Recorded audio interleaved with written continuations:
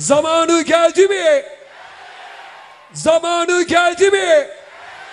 Mart'ın sonu Mart'ın sonu Mart'ın sonu Sevgili Sultan Gaziler konuşmalarını yapmak üzere yüreğinde barışa, eşitliğe, demokrasiye yer sen ben kavgasını bitirip sosyal adaleti, barış ve kardeşliği pekiştirecek.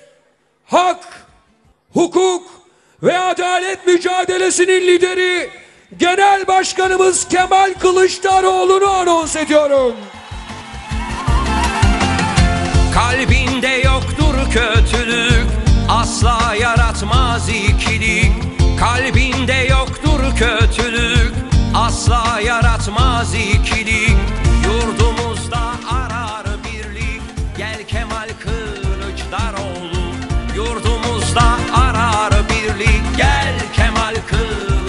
Efendim merhabalar.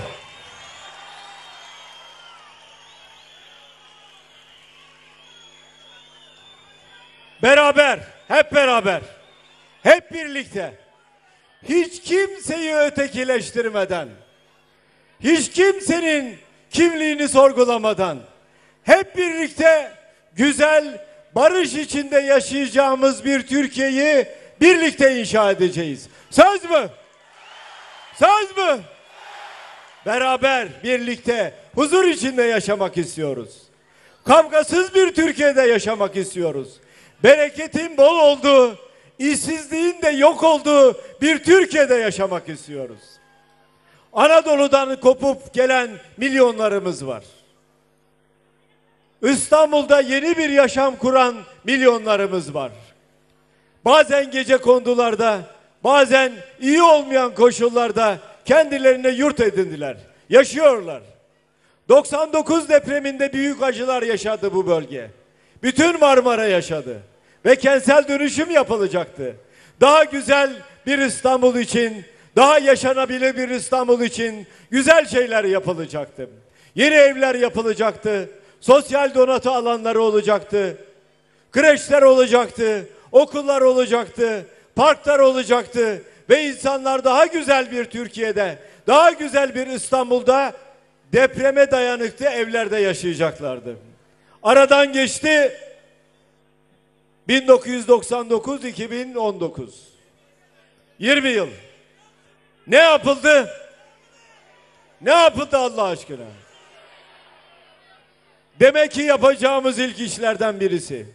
Gerçekten İstanbul'u yaşanabilir kılmak istiyorsak ilk yapacağımız işlerden birisi belediye başkan adaylarını değiştireceğiz. Daha doğrusu var olan belediye başkanlarını değiştireceğiz. Yeni belediye başkanlarımızı görevlerinin başına getireceğiz. Halka hizmet etmek için getireceğiz.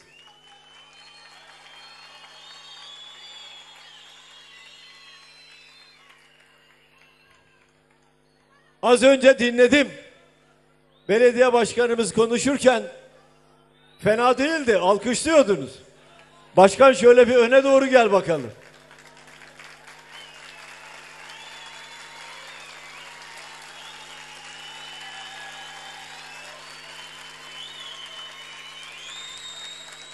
E maşallah genç birisi, yakışıklı birisi, hizmet aşkıyla dolu birisi, neyi nasıl yapacağını bilen birisi. Dolayısıyla sizin desteğinize ihtiyacımız var. Eğer gerçekten de İstanbul'u yaşanabilir bir kent haline getirmek istiyorsak, burayı yaşanabilir bir kent haline getirmek istiyorsak, önce sizin desteğinize ihtiyacımız var. Önce sizin desteğiniz gerekiyor. Oylarınız gerekiyor ki başkanı başkanlık koltuğuna 1 Nisan'da oturtalım. Beraber gidip bir çay kahve içelim en azından.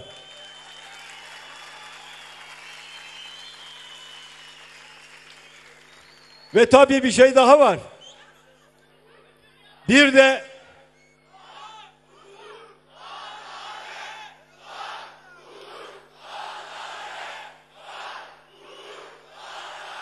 hakkı, hukuku ve adaleti sağlayacağız. Hiç endişe etmeyin. Bu kardeşiniz hiçbir baskının önünde diz çökmedi. Hiçbir zaman eğilmedi. Dik duruşumuzu, onurlu duruşumuzu, insandan yana duruşumuzu, haktan, hukuktan ve adaletten yana olan duruşumuzu asla değiştirmeyeceğiz. Baskı nereden ve kimden gelirse gelsin. Biz insanımızı seviyoruz. İnsana hizmet etmek kadar güzel bir şey olabilir mi? İnsanları kucaklamak kadar güzel bir şey olabilir mi? İnsanın terini koklamak kadar güzel bir şey olabilir mi? Biz insanı seveceğiz. İnsana hizmet edeceğiz. Çünkü insan Allah'ın yarattığı en değerli varlıktır. Kimliği ve inancı ne olursa olsun benim başımın üstünde yeri vardır. Biz böyle yetiştik. Böyle anlattılar bize. Belediye başkanımdan belediye başkanımdan iki şey istiyorum. Gel başkan. iki şey. Bir, seçildiğin andan itibaren bu mahalle oy verdi vermedi ayrımı yapmadan bütün beldeye eşit hizmet götüreceksin. Söz mü? Söz başkanım bütün Sultan Gazi'ye söz.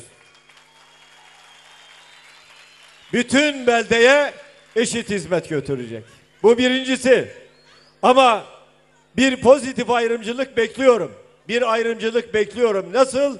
Eğer bir mahalle gerçekten yoksulsa oraya pozitif ayrımcılık yapacağız. Oraya daha fazla yardım yapacağız. Böylece hayat standartını yükseltmiş olacağız. İkincisi, ikincisi, tabi belediye başkanımız hizmeti götürürken parayı harcıyor. Kimin parası? Halkın parası. Sizin paranız. Dolayısıyla harcanan her kuruşun hesabını millete verecek. Bunun da sözünü veriyor muyuz başkan? Söz başkanım Sultan Gazi beni bilir. Ben israfa her zaman hayır diyeceğim, set koyacağım. Eyvallah. İsrafa karşıyım diyor. İsrafla ilgili bir örnek vermek isterim size. İsrafla ilgili. Almanya gelir düzeyi olarak bizden çok iyi. Almanya'da kaç makam aracı var? 9 bin. Türkiye'de kaç makam aracı var? 110 bin. 9 bin, 110 bin. Kim zengin? Biz mi onlar mı? Kim tasarruflu? Biz mi onlar mı? Kim mi israftan yana? Biz mi onlar mı? İsraf haramsa, israf doğru değilse hep birlikte israfa karşı çıkacağız. Az önce söyledi, israfa da karşıyım dedi. İsrafı da yapmayacağız dedi. Belediye başkanımızı bir daha yürekten alkışlayalım lütfen.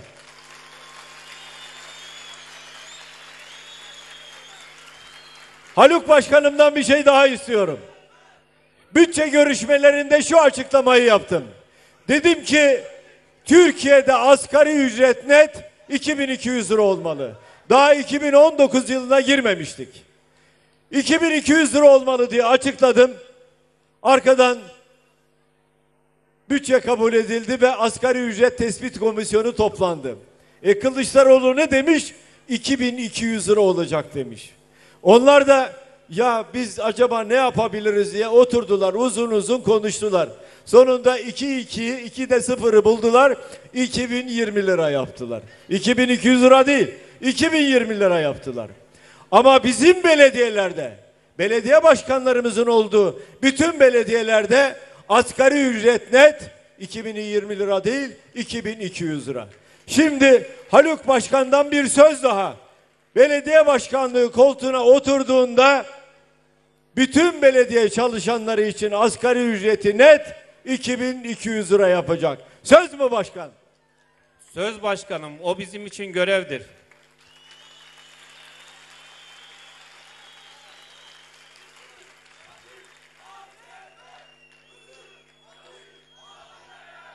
Dolayısıyla dolayısıyla sizlere hizmet etmek için sizlere hizmet etmek için çalışacağız. Belediye başkanımız da çalışacak. O da mücadele edecek. Ama desteği sizden alacak. Kentsel dönüşüm. Kentsel dönüşüm önemli. Çok önemli. Kentsel dönüşüm şunun için önemli. Bir yerde insanlar yaşıyorsa ve yıllardır yaşıyorlarsa orada komşuluk ilişkileri olmuşsa, orada yatmışlar, odada kalkmışlar, orada çocuklarını askere gönderip orada çocuklarını okula göndermişlerse, orada komşuluk ilişkileri gelişmişse, dostlar, akrabalar, yakınlar hep bir aradaysa kentsel dönüşümün bu dokuyu bozmadan yapılması lazım. Yani şu demek, kentsel dönüşüm yapacaksanız orada olan insanları kentin varoşlarına sürüp oraya gelir düzeyi yüksek yeni insanları getirmeyeceksiniz. Üsküdar. Orada yaşayanlar var. Üsküdar'da yaşayanlar gece kondularda yaşıyorlar. Ama gece konduları boğaz manzaralı. Diyorlar ki bu boğaz manzaralı yerleri boşaltın. Kentsel dönüşüm yapacağız. E ne olacağız biz? Sizi başka yerlere göndereceğiz. Buraya milyon dolarlık villalar yapacağız. Buraya yeni insanlar gelecek deniyor. Ve rant onlara teslim ediliyor. Rant onlara veriliyor. Bir avuç insana veriliyor. Kentsel dönüşümde rantı yaratana pay vermeniz gerekiyor. Yani orada yaşayan insanlara rantı vermeniz gerekiyor. Yani orada yaşayan insanların hakkıdır rant. Oraya vereceksiniz ki rantı hakkına, hukukuna uygun olarak dağıtmış olasınız. Biz bunu yapacağız. Bunu yapmanın yollarından birisi Ekrem İmamoğlu'nu Büyükşehir Belediye Başkanı seçmektir.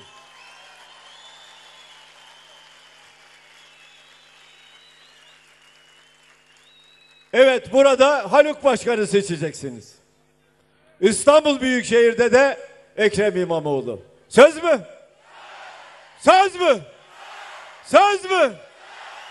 Ben de size söz veriyorum. Ben de size söz veriyorum. Her harcamalarını, size yaptıkları her hizmeti ben de sizler gibi takip edeceğim. Ve bakacağız.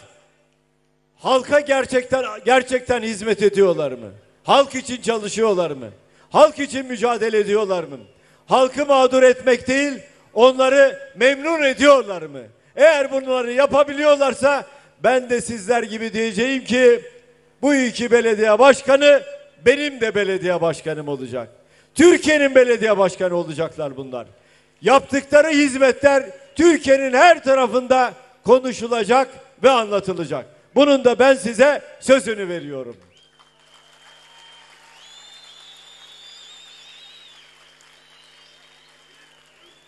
Belediye başkanları halkın parasını harcarlar dedim. Halkın parasını. Dolayısıyla belediye başkanlarının harcanan her kuruşun hesabını vermesi lazım. Şu propagandayı yapıyorlar. Diyorlar ki efendim hükümetten para gelmezse belediye hizmet veremez. Buna sakın inanmayın. İzmir Büyükşehir Belediyesi geliri var mı? Var. Harcama yapıyor mu? Yapıyor. Aydın var mı? Var. Diğer belediye başkanlarımız var. Hatay var. Var mı? Var. Dediğim gibi bütün bize ait büyükşehir belediyelerinde gayet güzel hizmetler götürüyoruz. Kimseye de muhtaç değil aslında. Niçin? Her kuruşu doğru harcıyoruz. Her kuruşu yerinde harcıyoruz. Ve harcarken de her kuruşun hesabını veriyoruz. Bizim belediye başkanlarımız hükümete gidip de bize para verin diye asla gitmeyecekler. Gitmelerine gerek de yok. Kuruşu kuruşuna parayı yerinde harcadığınızda iyi bir sonuç elde edersiniz. Sadece bir örnek vermek isterim. İzmir metro yapıyor. Ankara metro yapıyor. İstanbul'da metro yapıyor. Yer altında metro yapıyorlar. İzmir kilometresini 50 milyon liraya yapar. Ankara kilometresini 100 milyon liraya yapar. İstanbul kilometresini 150 milyon liraya yapar. Ne demektir bu? Ne demektir bu? Metro ise metro. Makina ise aynı makina. Nasıl oluyor da birisi 50 milyon liraya, birisi 150 milyon liraya kilometresini yapar? Demek ki nedir? 50 milyonluk işi 150 milyona yapıyorsanız 100 milyonu götürüyorsunuz demektir. Buna izin vermeyeceğiz. Buna izin vermeyeceğiz. Bu bölgede işsizlik olduğunu biliyorum. Daha doğrusu İstanbul'un genelinde işsizlik olduğunu biliyorum. İşsizliğin ne olduğunu bilirim. Yoksulluğun ne olduğunu bilirim. Askerden gelmiş, üniversiteyi bitirmiş bir gencimiz veya üniversiteyi bitirmiş bir kızımızın işsiz kalmasının ne kadar acı verdiğini bir aileye ne kadar acı verdiğini bilirim. Bir babanın okuluna giden çocuğuna, okula giden çocuğuna harçlık verememenin ızdırabını bilirim. Çocuğu açken aç karınla bir çocuğu yatıran annenin ızdırabını bilirim. Biz hiçbir çocuğun yatağa aç girmediği bir Türkiye'yi arzu ediyoruz. Hiç kimsenin, hiç kimsenin işsiz kalmadığı, herkesin çalıştığı, aş eş, ekmek mücadelesi verdiği, güzel bir Türkiye'de yaşamak istediği, bunun mücadelesini bilirim. Bunun mücadelesinin ne kadar doğru olduğunu bilirim. Ama birileri var ki bir eli yağda, bir eli balda. Birileri var ki sarayında oturur, asla ve asla halkın ne kadar acı çektiğini bilmez. Birileri var ki Türkiye'yi yönetemediği halde yoksulluk kuyruklarını varlık kuyruğu diye millete satmaya kalkar. Kibir abideleri vardır Türkiye'de. Kibir abideleri. Halka tepeden bakanlar vardır. Halkı küçümseyenler vardır. Halkın oyunu çantada keklik diye bilenler vardır. Artık yolun sonu göründü. Artık gerçekleri görmek zorundayız. Şunu bu vesileyle ben AK Parti'ye oy vermiş değerli kardeşlerime de seslenmek isterim. 17 yıl omuzlarınızda taşıdınız. 17 yıl oy verdiniz. 17 yıl her türlü fedakarlıkta bulundunuz. 17 yıl tek başına iktidar yaptığınız bir yapı 17 yıl istediği kanunu çıkardı. istediği kararnameyi çıkardı. istediği genelgeyi çıkardı. istediği valiyi atadı. istediğini milletvekili yaptı. İstediğini müsteşar yaptı. 17 yıl içerisinde fabrikaları sattı. 17 yıl içerisinde dünyanın vergisini topladı. 17 yıl içinde sadece ama sadece Londra'daki bir avuç tefeciye 149 milyar dolar faiz ödedi. 17 yılın sonunda bu milleti getirdi, soğan kuyruğuna mahkum etti. AK Partili kardeşlerime sesleniyorum. AK Partili kardeşlerime elinizi vicdanınıza koyun ve düşünün. Sizin yaptığınız fedakarlığın karşılığını size ödediler mi? Düşünün. İstanbul'u kazandığında geldi Ankara'da Keçiören'de bir apartman dairesinde kaldı. Düşünün dedi ki ne milletvekili lojmanları kardeşim kapatın lojmanları satın bu lojmanları dedi. Milletin vekili milletin oturduğu apartmanlarda otursun. Eyvallah. Sonra ne oldu? Orası yetmedi. Başbakanlık konutu yetmedi. Çankaya yetmedi. Devasa bir saray 1100 odalık bir saray. Ne olacak? Almanya az önce söyledim. 9 bin makam aracı varken Türkiye 110 bin makam aracı çalıştırıyor. 110 bin makam aracı. Benzin parası kim ödüyor bu parayı? Kim ödüyor? Kimler ödüyor? Sizler ödüyorsunuz. Halk ödüyor. O nedenle diyorum AK Partili kardeşlerime sandığa gidip oy verirken şunu düşünün. Kardeşim gayet güzel. Seni 17 yıl omuzlarımda taşıdım. 17 yıl Türkiye büyüyecek dedim. 17 yıl işsizlik olmayacak dedim. E 17 yılın sonunda ne oldu? İşsizlik geldi aldı başını gidiyor. 7 milyonu aşkın işsizimiz var. 7 milyon. Kalkmış damat da diyor ki efendim diyor seçimlerden sonra iki buçuk milyon istihdam yaratacağım. Milletin aklıyla alay etmek demektir bu. 17 yılda yaratmadın da seçimden sonra niye yaratıyorsun? Elinden tutan mı var? Çıkar iki buçuk milyonu bakalım bir görelim. Dolayısıyla millet diyecek ki artık karnımız tok. Yeter artık. Sandığa gidip oy kullanacağız. Demokratik yollarla verdiği sözü tutmayanlara oy vermeyeceğiz demelerini istiyorum. Bunun sözünü istiyorum sizden. Sözünü. Söz mü? Söz mü? Söz mü? Bir de ülkücü kardeşlerime seslenmek isterim. Ülkücü kardeşlerime. Milliyetçilik bizim altı okumuzdan birisidir. Milliyetçilik kimlik üzerinden yapılmaz. Milliyetçilik vatanseverliktir. Bayrağımızı seviyoruz. Memleketimizi seviyoruz. İnsanımızı seviyoruz.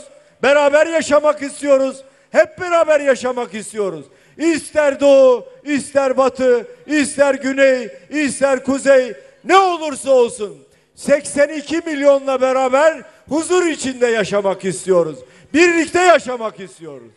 Ne yaptılar? Fabrikaları sattılar. Sümerbank'tı, Etibank'tı, Tekel'di. Ne var ne buldularsa sattılar. Şeker fabrikalarıydı. Şimdi silah fabrikasını, tank palet fabrikasını Katar ordusuna sattılar. Ülkücü kardeşlerime sesleniyorum. Özellikle ülkücü kardeşlerime sesleniyorum. Sevgili kardeşlerim, sevgili kardeşlerim, bana dünyada bir örnek gösterin. İster Rusya, ister Çin, ister Amerika, ister Kanada, ister Güney Kore, ister Afrika'nın bütün devletleri, ister Güney Amerika, Venezuela, dünyanın hangi ülkesinde bir devlet kendi silah fabrikasını bir başka devletin ordusuna satmıştır. Bakınız şunun için söylüyorum. Rahmetli Ecevit'e de milliyetçi değildir diyor diye, diye söylüyorlardı. Rahmetli Ecevit diyordu ki biz milliyetçiliği duvarlara değil biz milliyetçiliği Kıbrıs'ın beş parmak dağlarına yazdık. Biz milliyetçiliği Akdeniz'in dalgalarına yazdık. Biz milliyetçiliği Afyon tarlalarına yazdık diyordu. Direniyordu. Afyon ekmeyeceksin diyorlardı. Ekeceğim diyordu. Benim köylümün hakkını kimse alamaz, kimse gasp edemez diyordu. Şimdi silah fabrikaları satılıyor, ses çıkmıyor. Ses. Tık yok, tık. O nedenle bizim milliyetçiliğimizi kimse tartışamaz. Bizim milliyetçiliğimiz vatanseverliktir. Bütün insanları kucaklamaktır. Beraber olmaktır. Birlik olmaktır. Beraber mücadele etmektir. Bizim milliyetçiliğimizde hiçbir çocuk yatağa aç girmeyecek demektir. Bizim milliyetçiliğimizde her evde her tencere kaynayacak demektir. Bizim milliyetçiliğimizde demokrasi eşitliğin demokraside kadın erkek eşitliği olacaktır. Bizim düşündüğümüz Türkiye güzel bir Türkiye'dir. Huzurlu bir Türkiye'dir. Beraber yaşadığımız bir Türkiye'dir. Etnik kimlik üzerinden siyasetin yapılmadığı, inançlar üzerinden siyasetin yapılmadığı bir Türkiye'dir. Bizim Türkiye'mizde insanı sevmek vardır. Bizim kültürümüzde, bizim inancımızda, bizim kimliğimizde Yunus gibi olmak vardır. Kin tutmamak vardır. İnsanları sevmek vardır. İnsanlarla beraber olmak vardır. İnsanların sorunlarını çözmek vardır. Bunun için mücadele edeceğiz. Sizleri seviyorum. Sizlere hizmet etmek için mücadele ediyorum. İnsanımızı seveceğiz. Çocuklarımızın daha güzel bir Türkiye'de yaşaması için mücadele edeceğiz. Evet, Ekrem İmamoğlu başka bir bölgede çalışıyor. Öyle zamanı beraberdik ama Haluk Başkanımız burada. Gel başkanım bir daha.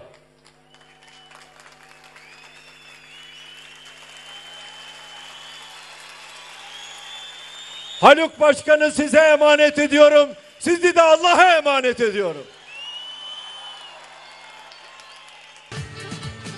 Çok teşekkür ediyoruz Sayın Genel Başkanım. Sizi bırakmıyoruz. Hanımefendi il başkanımızı, ilçe başkanlarımızı, milletvekillerimizi, İstanbul Kadın Kolu Başkanımızı da buraya davet ediyorum. Şu şu telefonlarınızın bir ışıklarını açar mısınız lütfen? Şu telefonlarınızın bir ışıklarını açın lütfen. Telefonlarınızın ışıklarını bir açın lütfen. Cumhuriyet Halk Partisi'nin saygıdeğer Genel Başkanı Kemal Kılıçdaroğlu Sultan Gazi Belediye Başkan adayımız Haluk Bozkurt'la milletvekillerimizle il başkanımızla sizleri sevgiyle saygıyla selamlıyor. Sayın Genel Başkanım Sultan Gazi'ye gelişinizin anısına ilçe başkanımız bu güzel kara kalem fotoğrafı resmi size takdim ediyorlar ve aynı zamanda aynı zamanda Sağ olun çok teşekkür ediyoruz. Sallayın ışıklarınızı. Sallayın telefonlarınızın ışıklarını.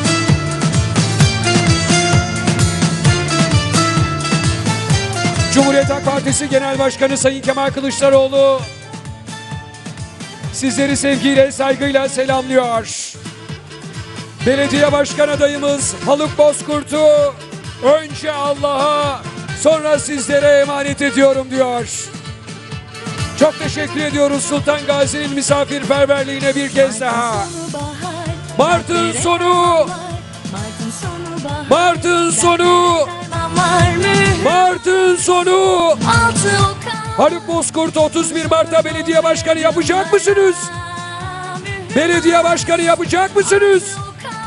Belediye başkanı yapacak mısınız? Hoşçakalın sevgili Sultan Gaziler. Çok teşekkür ediyoruz ilginize. Hakkınızı helal edin. Allah'a emanet olun.